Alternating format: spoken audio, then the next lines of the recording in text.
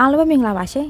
ဒီနေ့မှာတော့အားလုံးကတောက်ဆုံထားကြတဲ့စက်သားခုတယောက်ပြုတ်လုံနေလေးကိုလာမျှပြတာဖြစ်ပါတယ်ဒီနေ့လေးကဆိုလို့ရှိရင်လွယ်ကူမြင်စင်ပြီးတော့ရတာကလည်းလုံးဝဆိုင်ရအတိုင်းပဲရတယ်ပေါ့နော်တော်တော်လေးကိုစားလို့ကောင်းပါတယ်ကဲဒါဆိုမလို့စားဖို့တဲ့တွေလောက်ဆိုင်ရအောင်ဖြဲဝေကိုလေးကိုအစိုးရလေးကြည့်ကြပါအောင်နော်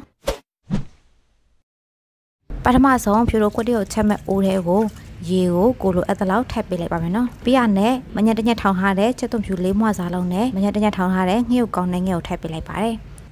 ပြီးရနဲ့ထူထားပြီးသားနည်းနည်းပင်မြင့်လေးချောင်းလောက်ကိုထည့်ပေးလိုက်ပါတယ်ပြီးတော့ဖြိုကမုံလာဥဖြူကိုဒီလိုမျိုးလေးတုံတုံပြီးတော့ထည့်ပေးလိုက်ပါတယ်ရှင်တကယ်လို့မကြိုက်ရင်မထည့်လိုက်ရပါတယ်နော်ပြီးတော့ဒါကတော့ကွစ်တရုတ်ထဲမှာထဲတဲ့အမွှေးကြိုက်ထုတ်လေးပေါ့နော်ဒီထုတ်လေးကကျတော့ထိုင်းမှာဆိုလို့ရှိရင်တော့ရှာဝယ်ရအရန်ကိုလဲပါတယ်ဆိုင်ထဲမှာရှိတယ်ပေါ့နော်ဈေးတွေမှာတကယ်လို့ဒါမရှိဘူးဆိုလို့ရှိရင်တော့တကြပိုခေါင်းနည်းနည်းပွင်းတဲ့ဒီကရီယော့ကိုထည့်ပေးနိုင်ပါတယ် ပြရနဲ့သူတွေကိုတကြားခဲလေးလေခဲလောက်ကိုထည့်ပေးလိုက်ပါတယ်ဒီနေရာမှာဒီတကြားခဲမရှိရင်ရိုးရိုးတကြားကိုထည့်ပေးနိုင်ပါတယ်နော်ပြီးတော့စက်တဖြူအိုးစိန်လေးတပူးကိုထည့်ပေးလိုက်ပါတယ်ထိုင်းလို့ဆိုလို့ရှိရင်တော့နမ်ကထီယန်တော်လို့ခေါ်ပါတယ်ရှင်ဒါမရှိရင်မထည့်လိုက်ရပါတယ်နော်ပြီးတော့ဒီအသားမုတ်တုံးလေးပေါ့နော်ဒါကတော့ခနောတုံးလေးတတုံးကိုထည့်ပေးလိုက်ပါတယ်ပြီးရနဲ့ပဲငက်ပြဲအကြီးပဲငက်ပြဲရင်နောက်တော့ကိုကိုလိုအပ်သလောက်ထည့်ပေးလိုက်ပါမယ်နော်ပဲငက်ပြဲရင်နောက်ကကျတော့အယောင်လေးလှဖို့အတွက်ထည့်ပေးရခြင်းဖြစ်ပါတယ် ပြီးရနဲ့ရတာတွေကအသားမုံနဲ့စားတို့ကိုထည့်ပေးလိုက်ပါတယ်ရှင်ကဲနောက်ဆုံးကြမှာကြက်ချောက်တွေကိုပေါ့နော်ရေးစစ်ထားတဲ့ကြက်ချောက်လေးတွေကိုထည့်ပေးလိုက်ပါတယ်ပြီးရနဲ့အဖုံးလေးအုပ်ပြီးတော့ဆူလာလက်ထိတက်ထားပေးလိုက်ပါတယ်ရှင်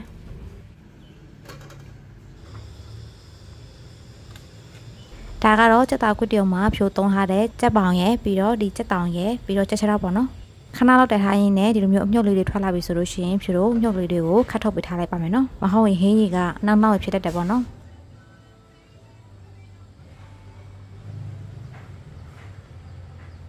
ရတဲ့တူကိုခဏလောက်မှွေပြီးတာနဲ့အဖုံးလေးအုပ်ပြီးတော့ဆူလာလက်ထိတက်ထားပေးလိုက်ပါတယ်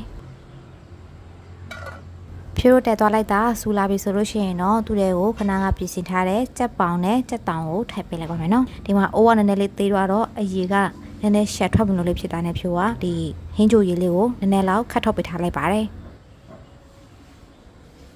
အသားထဲတော့နည်းနည်းလေးရေကရှက်ထွက်လာတယ်ပေါ့နော် ပြီးရတဲ့ဒီကျန်နေတဲ့ကြက်တောင်လေးတွေကိုထပ်ပေးလိုက်ပါတယ်အခုဖြိုးတို့ခတ်ထုတ်ထားတဲ့ရေကိုကြတော့ဖြိုးတို့ဒီဟင်းကြိုရေနည်းနည်းလေးခန်းသွားတဲ့ချိန်မှာပေါ့နော်ပြန်ထပ်ပေးရမှာဖြစ်ပါတယ်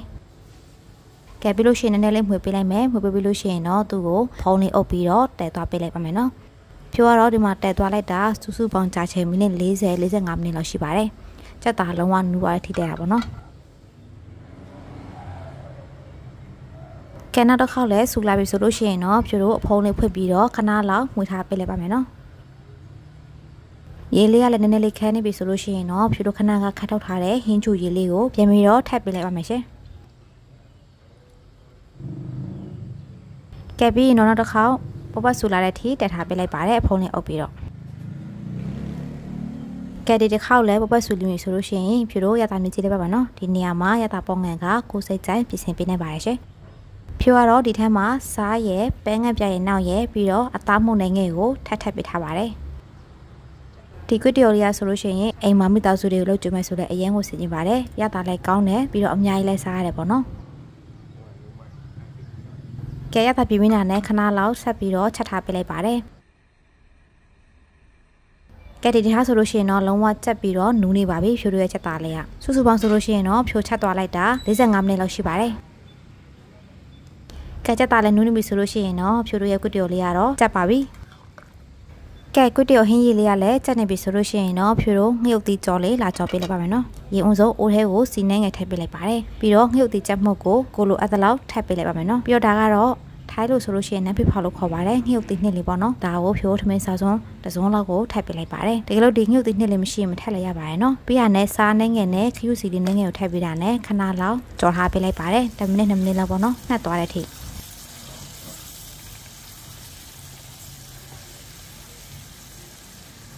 ဒီငုတ်ဒီနှစ်လေးရဆိုလို့ရှိရင်ထိုင်းကရောင်းနေတဲ့ကွတ်တီယိုဆိုင်တွေမှာရတဲ့ပုံစံအတိုင်းပဲပေါ့နော်ရတာအရန်ကောင်းပါတယ်အဲ့နဲ့လည်းမှွေပြီးတော့ဒီနေ့ဟားလေးဆိုလို့ရှိရင်တော့ဖြိုးရဲငှုတ်တီကြော်လေးရတော့ချက်ပါပြီဒါကတော့ကွတ်တီယိုထဲမှာထပ်ပြုတ်စားမယ်ကစုံရွက်နဲ့ဘဲပီပေါင်းနိုင်ငယ်ပဲဖြစ်ပါတယ်ပြီးတော့အစင်သေးရိတ်စိန်ထားတဲ့ကွတ်တီယိုမဖက်လေးနိုင်ငယ်ပဲဖြစ်ပါတယ်ရှင်ဒါလေးကတော့ ပပြီးတော့ဒါကတော့ကျက်သွဖြူကြောလေးပဲဖြစ်ပါတယ်ရှင်ကျက်သွဖြူကြောကတော့လူတဲ့ကြော်တတ်မယ်လို့ထင်လို့ဖြူကတော့ဗီဒီယိုလေးနဲ့မြက်ပြထားပါဘူးပြီးတော့ဒါကတော့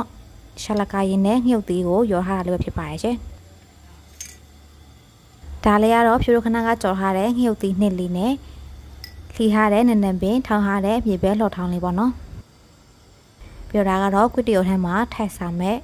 အမွှေးကြိုက်ရွက်လေးရဖြစ်ပါတယ်။ကဲအားလုံးလည်းစေတဖြစ်နေပြီဆိုလို့ရှိရင်ပြတို့စပြီးတော့ကွတီယိုကိုလာပြုတ်ပေးလိုက်ပါမယ်နော်။ရေဝင်စောပပတ်ဆိုတဲ့ယူနီအိုထဲကိုအသားလုံးလေးကိုကိုစားနေတလောက်ထပ်ပေးလိုက်ပါမယ်ရှင်။တကယ်ကတော့လေစက်သားကွတီယိုမှာအသားလုံးမထက်လိုက်ရတယ်ပေါ့နော်။ဒါပေမဲ့ဖြိုးကတော့အသားလုံးလေးစားချင်တာနဲ့ထပ်ပြီးတော့ပြုတ်ထားပါတယ်။ပြီးတော့ခဏကရေစိမ်းထားတဲ့အရွက်နဲ့ဒီကွတီယိုမဖက်လေးကိုထပ်ပြီးတော့10မိနစ်လောက်ပြုတ်ထားပေးလိုက်ပါတယ်။10မိနစ်2မိနစ်လောက်ပေါ့နော်။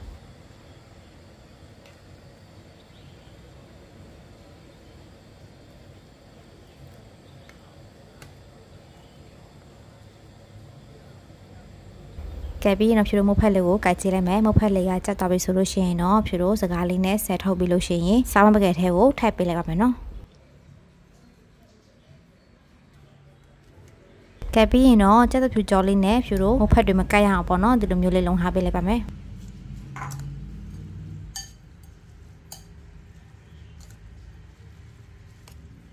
ကဲပြီးရင်တော့ခဏကဖြူတို့ပြုတ်ထားတဲ့ဟင်းချိုကြီးလေးပေါ့နော်ဒီကွစ်တရုပ်ဟင်းကြီးလေးကို ထည့်ပေးလိုက်ပါမယ်ရှင်ကြည့်ပါဦးစားချစ်စရာရင်